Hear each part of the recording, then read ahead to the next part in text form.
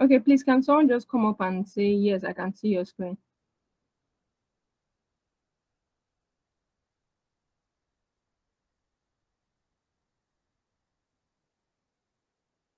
Yes, we can. All right, thank you so much.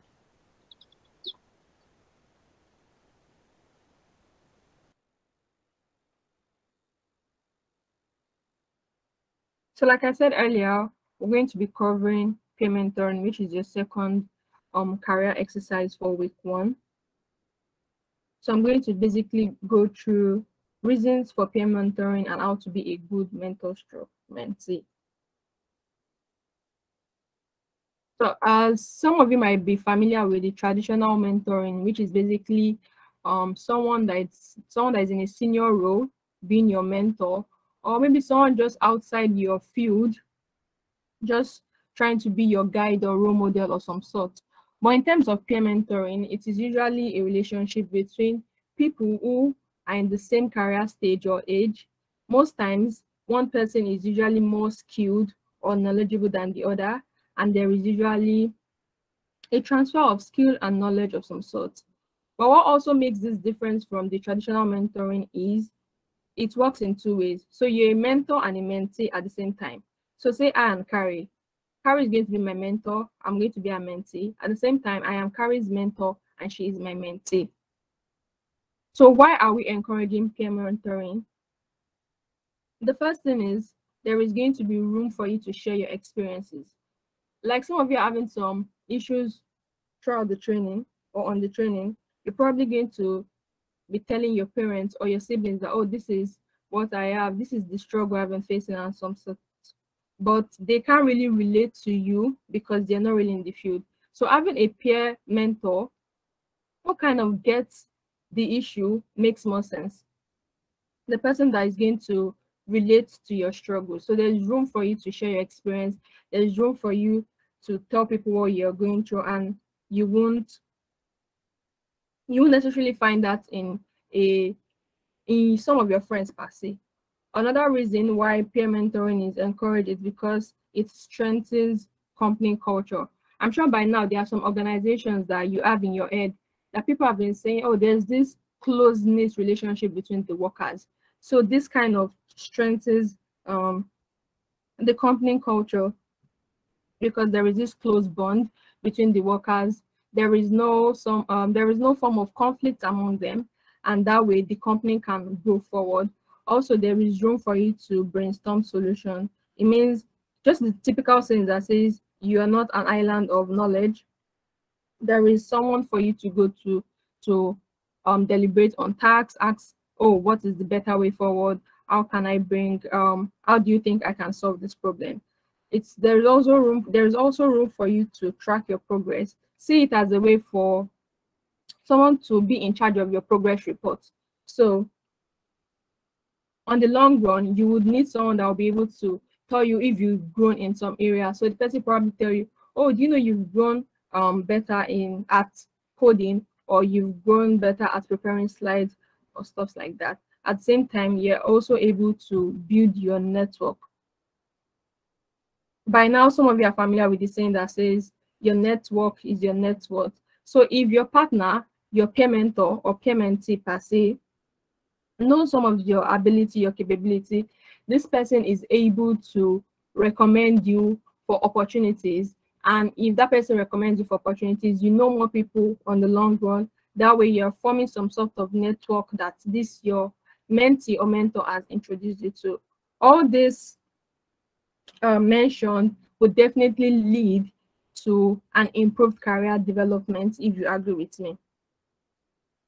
So now, how to be a good mentor?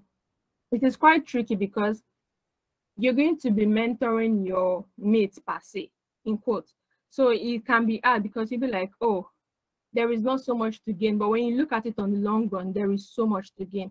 So how to be a good peer mentor?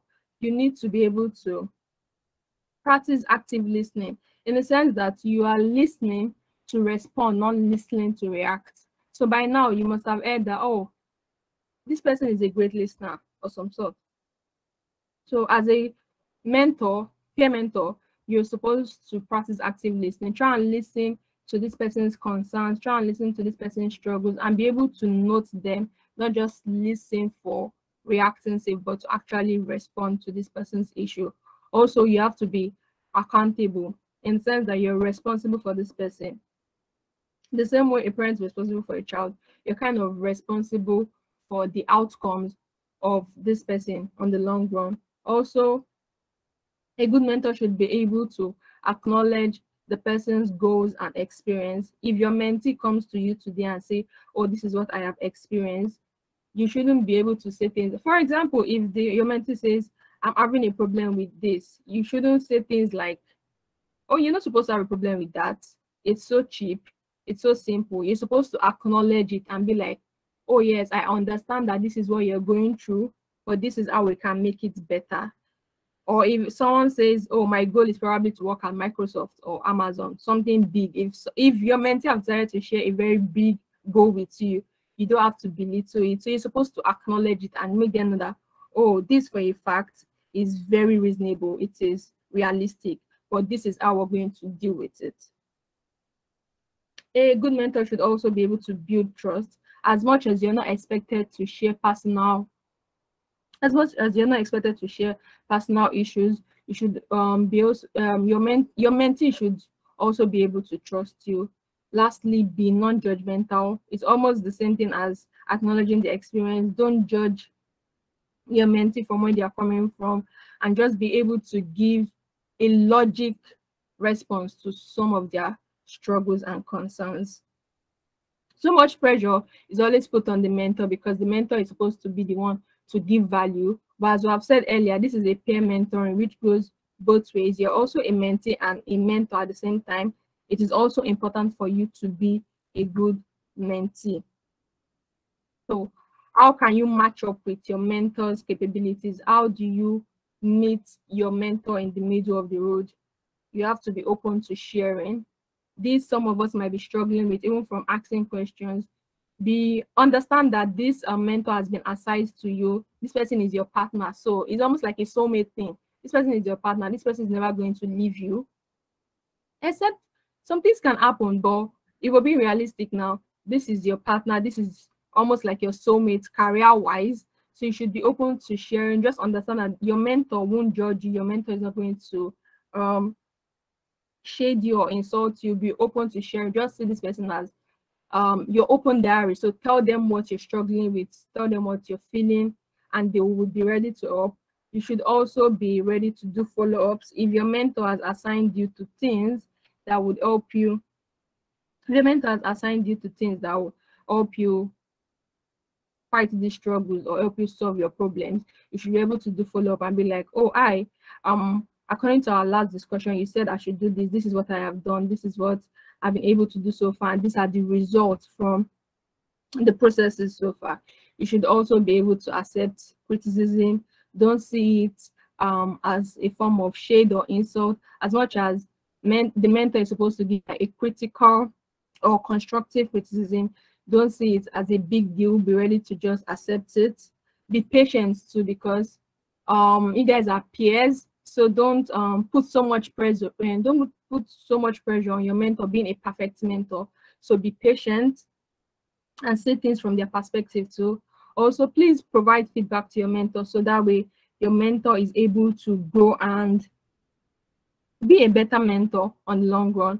I think I'm still going to keep laying emphasis on it being a peer mentor because you need to understand that you're dealing with your mates. You're not dealing with like an already established person you're dealing with someone who is almost struggling like you, but the person is just better in some aspects than you, and you're also better in some aspects compared to the other person. Think of it as times in university where um, there is this person you go meet for some topics, and there are some topics your um, people would come to you to.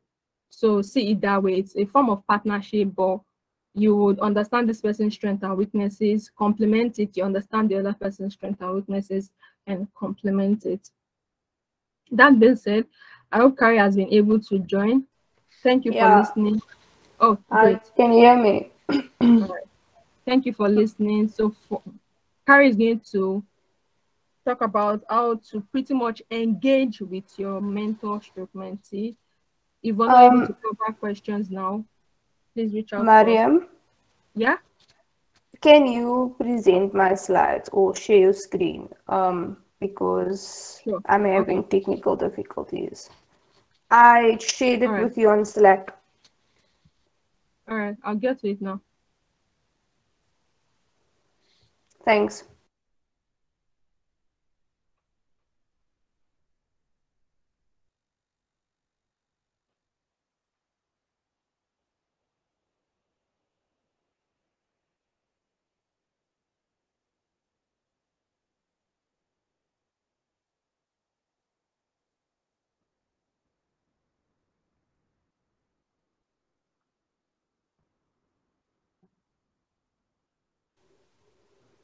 Okay, is that um, good? Yeah, can see it. Um, thank you so much. Hi everyone. I am um, sorry for missing most of it. I'm having technical difficulties. Um, so yeah, just building on what Mariam said, um, engaging with your mentor or mentee, well, just the peer mentoring relationship is not just going to benefit you um, you know as a mentor or mentee the skills that you learn during the interview can also help you in other aspects such as preparing you for real job interviews. Um, so yeah let's go on to the first slide mariam. Um, so firstly we should i i'm emphasizing that this is a professional session. As much as you've gotten to know your fellow trainees throughout the past two or so weeks, um, which is great, and I'm sure you've made friends. Um, for the purposes of this exercise, it is a professional meeting, so yeah. Um, you have been paid with one another and that list is available with the Google Doc where the exercise is on. So um, you reach out to the person that you're paid with, send them a message, um, private message on Slack, and then agree on a date. So it has to be handed in on the 14th of May. So before then, um, agree on a date and then schedule it in your Google Calendar and then send the link, share the link with each other. Um, you will need to make notes for the purpose of completing the exercise. Um, here, I would suggest that you make notes on only the relevant points. Please don't write down anything personal or confidential. Just read the read through the careers, um, the peer mentoring exercise carefully. Make relevant notes because you will need it to complete the assignment. Um, you guys are quite busy. I know you've got quite a few activities and stuff, and you've got sessions every day, career building, um, community building sessions. So I think that in order to keep the peer mentoring session, you know, to limit the time that you spend, it's important to create a timeline or meeting structure um, so that you don't go, you know, into an hour, two hour session, which you can do on your own time if you want to. Um, I would suggest 10 minutes for you to introduce um, yourselves to each other, 10 minutes for asking questions, and then 10 minutes of discussion and conclusion. Um, I also suggest making an agenda before the uh, meeting and then sharing it with one another. Also, once again, it is professional, so please um, do um, do your peer mentor a courtesy of making sure you've got no tech issues, um, which I should have done. I apologize. Um, make sure that you stick to the relevant um, topics, and when you are not speaking, use mute. Mariam, can you continue, please? Um, beforehand, please prepare relevant questions. I've provided links in this uh, presentation which you can use to follow up on what questions are relevant. Um, always be respectful of the other person's time and experience. Um, we all have different experiences. Our view of the world is very exclusive to us. Um, so not every person is going to experience things, the same situation, the same way.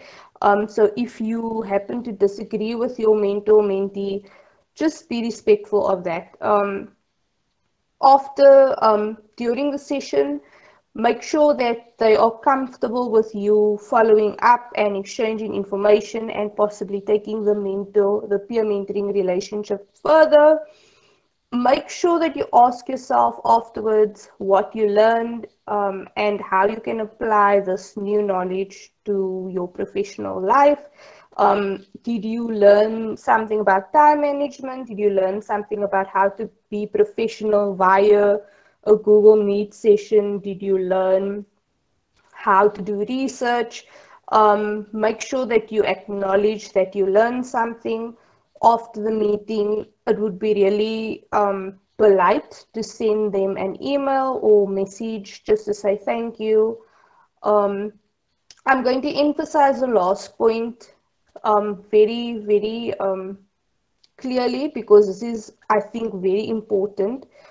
Um, you are in a professional relationship with your peer mentor or mentee uh, it is not going to be appropriate for anyone to make comments on the other person's appearance. Um, do not compliment them on their appearance. If you do want to compliment them, then do so about their work, their professional work um, that you have observed.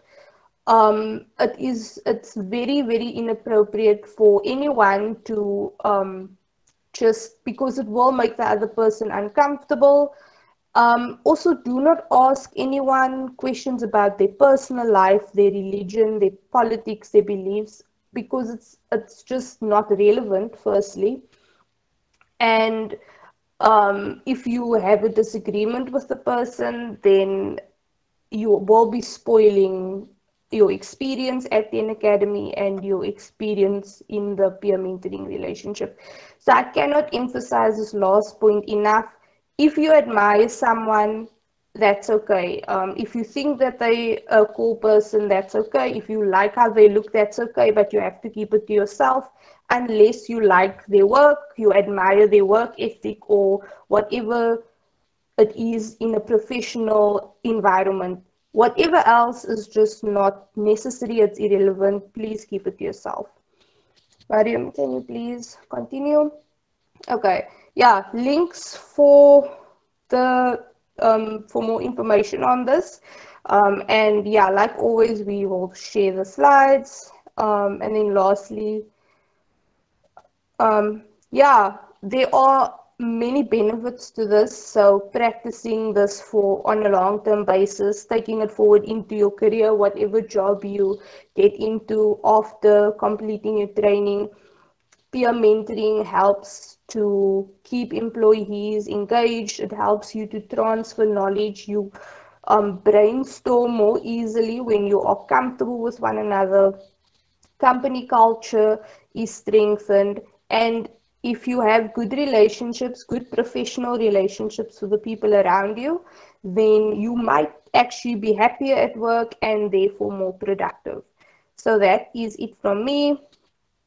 Yeah, we are available for questions and answers now and then on the Slack channel. Thanks.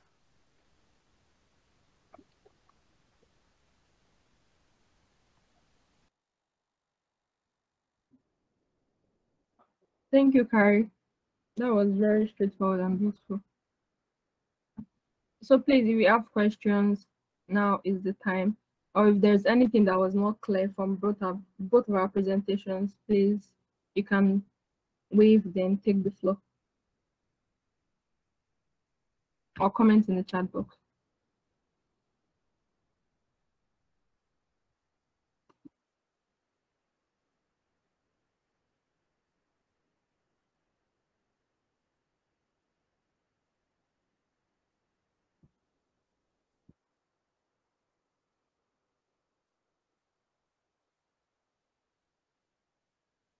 If it's also clear, you can please put clear in the chat box. However, I think I have a couple of questions just to be sure we are on the same page with the assignment or exercise per se.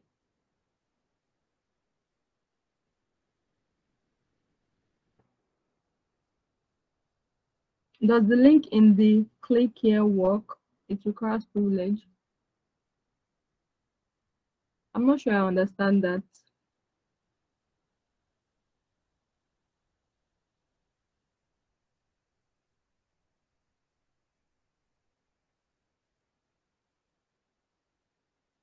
Yeah, okay. Are you saying um the link that contains the pairing? Because we've paired everyone. So obviously you you know your mentee by now, you know your mentor. Are you saying it works as um does everyone have access to it?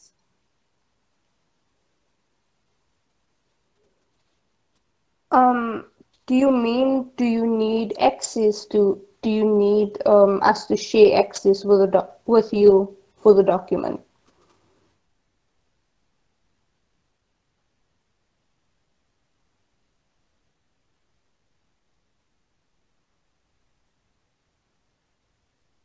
I'm not quite sure what they mean. Does everyone have access to it? I'm sure they should. Hello, do you hear me? Yeah, you? Uh, I was uh, looking on the document and I try to check uh, with uh, my peer, my colleague peer.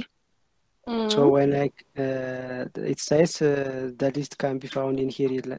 Uh, so when I click here, uh, I see the link, but it doesn't uh, connect to my peer or to show me uh, uh, my peer. So is your name not on the list? No, uh, the document by default it doesn't open. Okay, we will then um I'll put that in the Slack in our Slack and we will um correct that and then share the corrected link with you. Um sorry about that. Okay, someone already shared the link again. You could please try again, but Okay, I'm let me let me check this one. All right. Many thanks. Okay. Okay. So I just want to know, in a situation where your mentee doesn't um show up for your meeting, what would you do? I'd love to hear a couple of responses.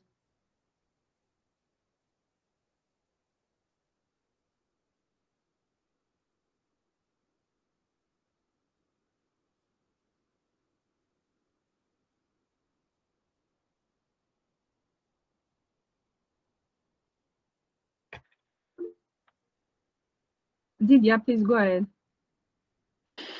Yeah, thanks. Uh, and again, thanks for the great presentation.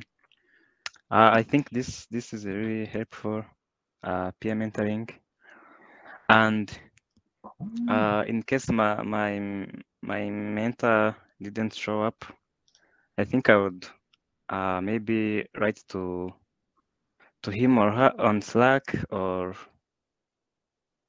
uh, yeah, I, I would use, use Slack because I think uh, most of the time since Slack is kind of professional, uh, professional of communication. So I think I would use Slack or other times when we have to maybe work together on something, use like Google Meet. Yeah, but in that case, I would use uh, Slack to communicate to him or her. Thanks. Thank you. That's great. So it's quite important that if your peer, uh, your peer mentor or mentee doesn't show up, it's you you're responsible to to also like reach out because you're accountable for your partner. So you have to like reach out and ask, oh, what's up? Why didn't you show up? Stuff like that. Thank you. Rafa, please go ahead. Yeah, hi, Mariam. So Hi. for some reason, I just couldn't make up uh, to come in in the time, and um, I will surely uh, return to the recording. But for now, maybe if it's possible that you just sum up for me what was uh, that, because um, Okay. That's my problem. But Carrie, do you want to say something? Because I could I noticed you unmute your mic.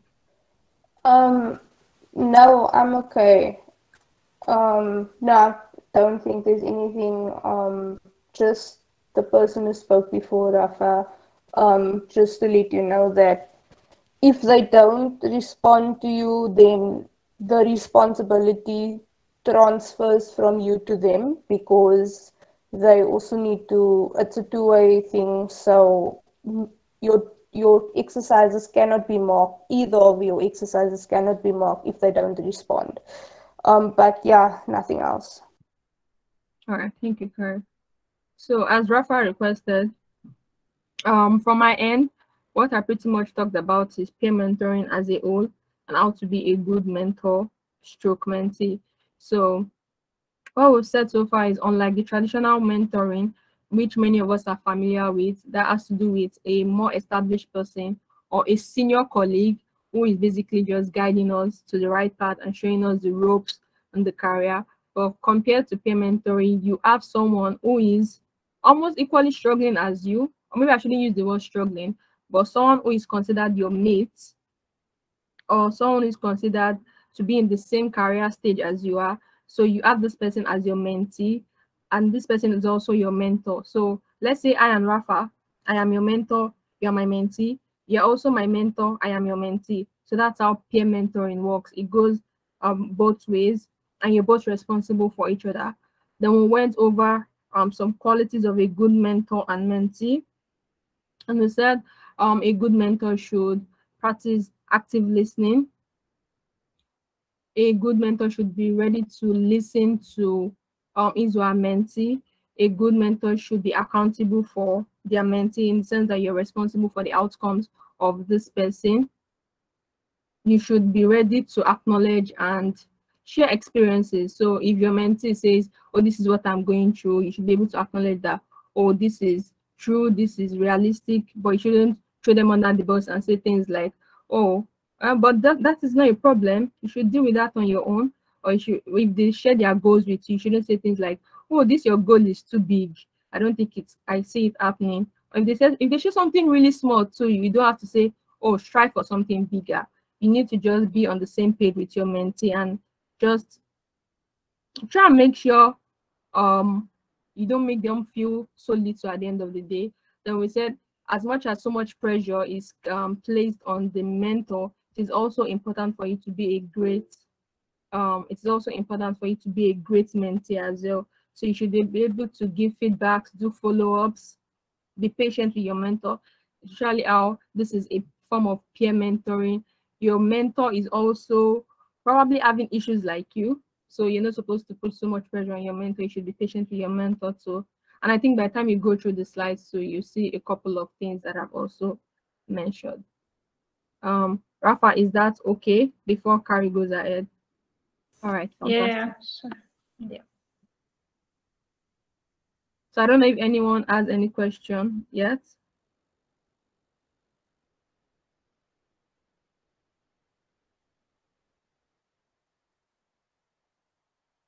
So I remember, Um, okay. If you are um, confused about where to find the exercise, it's always in Google Classroom, and we are going to share the links to the slides just now in Slack after the session has ended.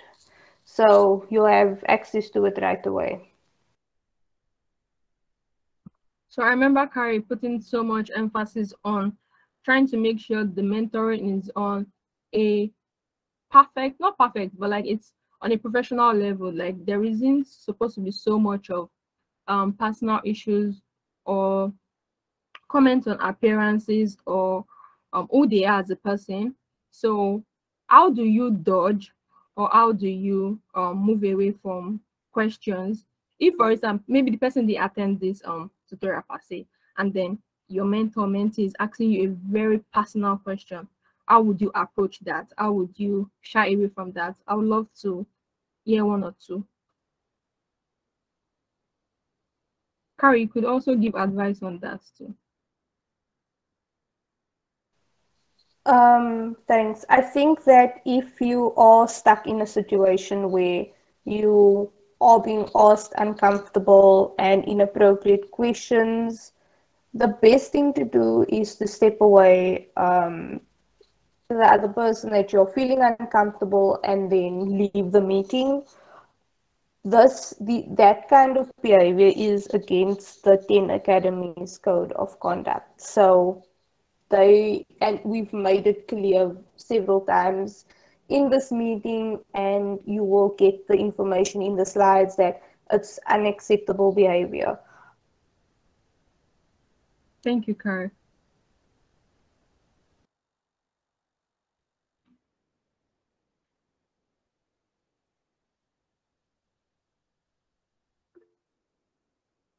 Alan, go ahead.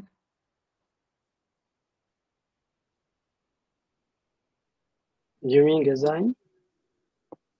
So yes, go ahead, please. Uh, when uh, we uh, before we reached uh, our colleagues, uh, we try to find some uh, information from their uh, different social medias, and uh, from the Slack, there are some people didn't have a pictured photo for uh, of them, so uh, there may be uh, the same name as they have in social medias how do we uh, clarify it? Uh, is there a must to communicate them before or not? Oh, just to be sure I get what you're saying. Are you saying um towards the search for looking for their um professional their social media, you couldn't Yes. get like their full name? Yes. Okay, but you already know your partner already now. Uh, for example, I know my partner Okay. and I try to reach him in uh, uh, LinkedIn, for example. When I type uh, his name, I got a lot of people's. When I Okay, but you try to compare it with, but you know the person on Slack by now. yes, Okay, you can just uh, message the the Slack Slack. information is na- not complete. I didn't that's what I'm saying. uh, get the You can picture. reach out to the person on Slack via DM, normal message, Uh, okay. and say, "Oh, I have okay. been paired with you. Please, can you share with Yeah, me okay. your social network details?" Okay, okay, Does that you. work? That's okay. I'm sure the person should also have like reached out to you too if the person I've seen that you guys appeared. Yes. Yes. All right, fantastic. Oh, sorry, um, Carrie is having some connection issues, so she's just coming in and coming out. I don't even know what to say again. so, any other question, please? Oh yeah, um, Thaddeus, uh, I'm sorry if I'm pronouncing your name wrong. I and Carrie will share our slides the moment we end this session.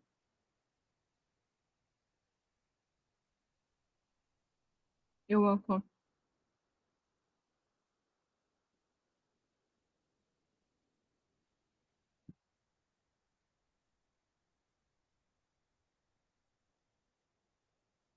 I don't know if everyone kind of grabs like the idea of this payment mentoring because on the long run, when you um get these global level jobs, we want um you to be able to use the knowledge from this peer mentoring to form like stable relationships with your partner, with your partners at work. So this will kind of give you like an insight and overview of how to form like stable relationship with your coworker. So from this peer mentoring, you're going to meet um colleagues who are going to be at the same entry level jobs as you are. So you will be able to because you're not going to figure everything out at once. So you're going to meet these people too, and you're going to be able to like you're going to be able to share experiences, learn from them. They will learn from you too. And that way you build you're building a beautiful network at work, if that makes sense. Well, why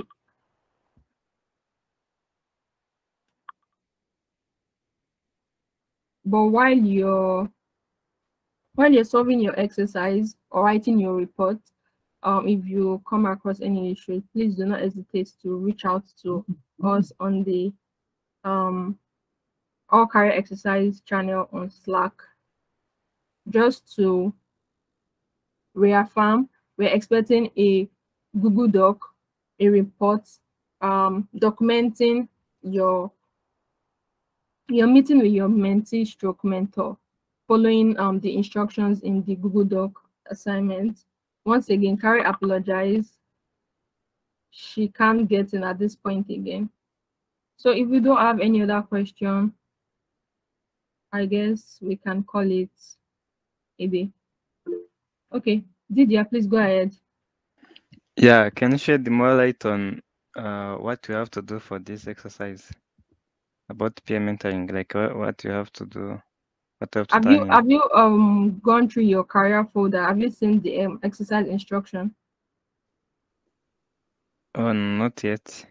Oh, there is um the same way you have like the instruction for the um globe uh, real world jobs. There is an instruction, a Google Doc to saying everything we want, everything you're expected to do rather in a Google Doc. So I think you should go through your career exercise folder. That's the second exercise for week one. Okay, I will check that. All right. So it basically has all the instruction how you should schedule a um, meeting with your mentee. By now, you should have seen who you appeared with because the link is on that Google Doc itself. So you would schedule a meeting with your mentee stroke mentor and then have a conversation. You must have prepared questions down and you're pretty much going to write a report on your meeting. So your findings, what you've realized, what you think you can do better. Alice, please go ahead. Okay, Mariam, good afternoon. Good afternoon. Uh, could I ask uh, some confu- uh, the things that confused me on technical Sure, go ahead. technical? Okay. Uh, for the job exercise, uh, it says just uh, use uh, data engineering uh, for this exercise and uh, it listed some of the things that should be provided here. For example, uh, in my scenario, if I went to link, uh, if I search one job and uh, if I identify the things such as the company, the position, the physical location, and so on things, and uh, could I write it what they have posted uh, about the detail of the job and uh, should I analyze do I have a knowledge to do this job and what gap I have and so on things or uh, are do I going to uh, apply for it just on the on that platform or it is a reporting Okay. First things first, you're not applying for any job yet. okay I think I should just put that out. You're not applying for these jobs yet. This exercise is pretty much preparing you to note the kind of jobs you will be applying for by July 31st, and that will be at the end of your three month technical training. Mm-hmm. I'm sure by now you understand that the whole academy, the training is for six months, three months is for technical training, then three months is a job search supported phase where we're going to assist you in getting this job. So first things first, you're not applying for these jobs yet, but in the same time, we were asking you to check out this job, and that is to see if you are already acquiring skills and knowledge that are required by these um, jobs. So for your very first question, which says, are you supposed to write out all the description? Not necessarily. You can summarize the job description. And remember, you're just going to add the link to the um, job site. I remember you're not doing like a Google listing. You're going to give us the link to the, say you apply to Microsoft. You're not going to give us Google um, link or something. You're going to give us the link to the exact Microsoft um, website showing the job vacancy. Then for your gap analysis, what you're pretty much supposed to do is to analyze if there is a gap between the skills you have and the skills these um, jobs are requiring. Have I answered all of your questions? yes exactly uh, Alright. could i add one one Sure, sure. uh, for example when you see on AngelList and uh, linkedin Yeah. and uh, and other uh, indeed and also the rest of the job search platforms Mhm. uh, most of the time they don't brief the deadline of submission just what they put is we are actively recruiting, for example, when you check the status of the job on the LinkedIn, for example, from my experience. And when you uh, proceed to have uh, to when you proceed to the link of the organization, even the deadline of that job is not specified. So in that in that case, how do we uh, write the closing date for applications? Maybe. Mm, if they're actively recruiting, you can easily just put that day as the closing date in brackets. I'm like, they're actively recruiting. But at the same time, anything that isn't because even on LinkedIn, there are some um what would I put it now? Okay. There's some thank you. accounts that put out jobs that are not really certified. And I remember Carrie talking about it that you should stay away from like employment scams and stuff. As much as you're not actively applying to these things, anything that isn't exactly clear, I think you should just stay away from it to just avoid doubt. Okay, thank you. Thank you, Maria. You're welcome.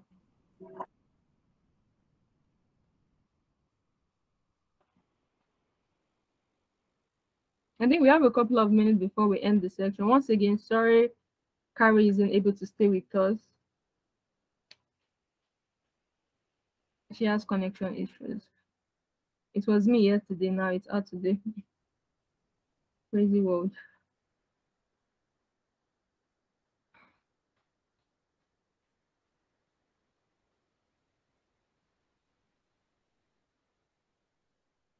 So we're going to send um the links to the slides on on Slack, the All Career Exercise channel.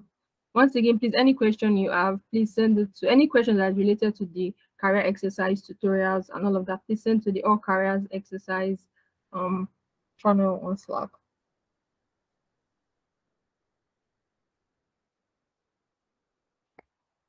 Can I get um clear or okay in the comment um in the chat box just so I know we kind of have an idea of everything we've been saying since the beginning of the tutorial.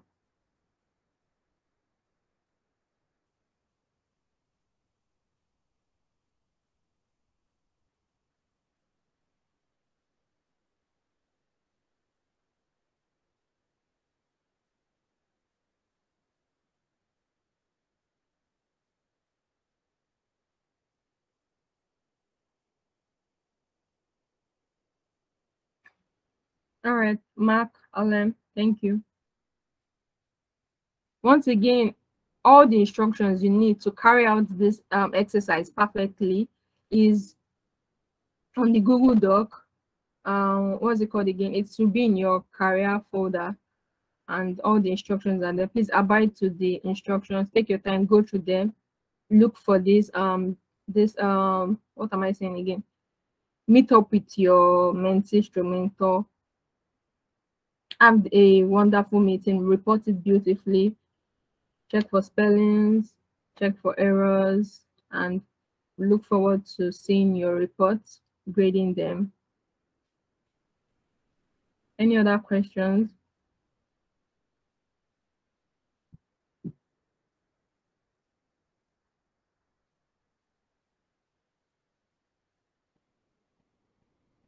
Okay. Everyone, enjoy the rest of your day, and I wish you the very best. Take care.